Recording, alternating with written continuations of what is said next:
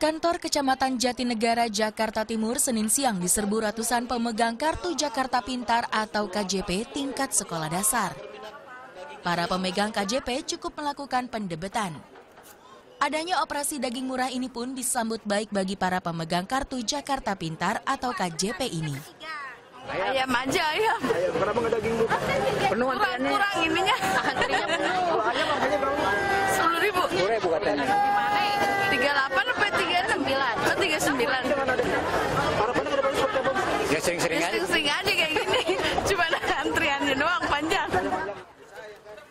Daging ayam dijual seharga Rp10.000, sementara daging sapi Rp39.000 per kilogram.